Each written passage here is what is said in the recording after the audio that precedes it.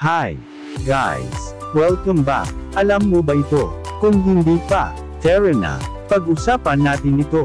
Let's go!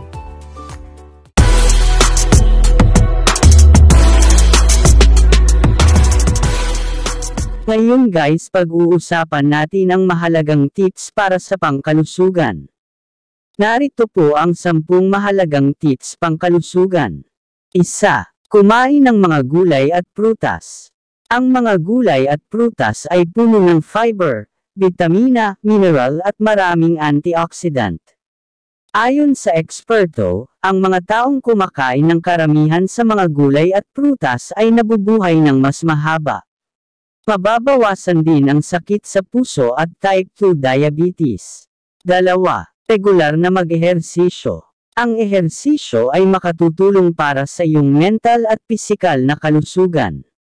Ito ay epektibo sa pagbawas ng taba sa tiyan. Tatlo, matulog ng sapat. Ang kulang sa tulog ay maaaring magdulot ng panganib sa diabetes at hormonal imbalance. Iwasan ang maliliwanag na ilaw bago matulog. Maaari nitong mapigilan ang paggawa ng sleep hormone o melatonin. 4.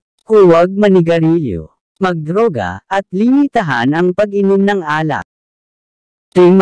Iwasan ang junk food at processed foods. Kumain ng sariwang pagkain. Ang processed foods ay karaniwang mababa sa fiber, protina at micronutrients at mataas sa asukal. Kaya, halos wala itong sustansya. 6. Limitahan ang mga pagkain ng mga mamantika at refined carbs. Katulad ng kanin at tinapay. Posibleng maging sanhi ito ng diabetes. 7. Limitahan ang pag-inom ng matatamis. Ang matatamis na inumin ay posibleng magresulta ng pagiging mataba, pagkakaroon ng type 2 diabetes at sakit sa puso.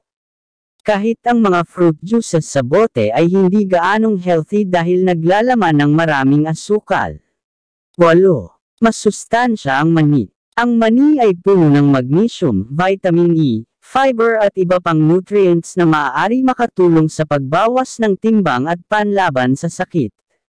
Piliin ang mani na walang mantika at konti lang ang asin. Siyam. Uminom ng sapat na tubig bago kumain. Ayon sa pag-aaral, ang pag-inom ng dalawang tasang tubig kada 30 minuto bago kumain ay nakababawas ng timbang. 10. Kumain ng isda gaya ng tamban, dilis, sardines, bangus, tuna at salmon. Ito ay mapagkukunan ng mataas na kalidad na protina. May healthy fat na omega-3 fatty acids at iba pang mga nutrients. Ayon sa pag-aaral, ang mga taong kumakain ng isda ay may mas mababang panganib kabilang ang sakit sa puso. Ito ang sampung mahalagang tips pang kalusugan. May katagan. Ang kalusugan ang pandar ng isang tao. Thank you. Take note. Ang mga halamang gamot ay maaaring makatulong sa iba't ibang mga karamdaman.